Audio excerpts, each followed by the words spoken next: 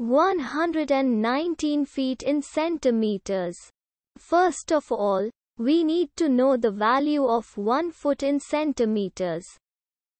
It's always 1 foot equals 30.48 centimeters.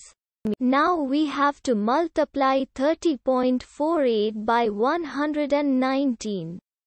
Therefore, 119 feet times 30.48 centimeters equals 3627.12 centimeters. So, in other words, 119 feet equals 3627.12 centimeters. We hope you have enjoyed this video. Please like and subscribe to our channel for more videos like this.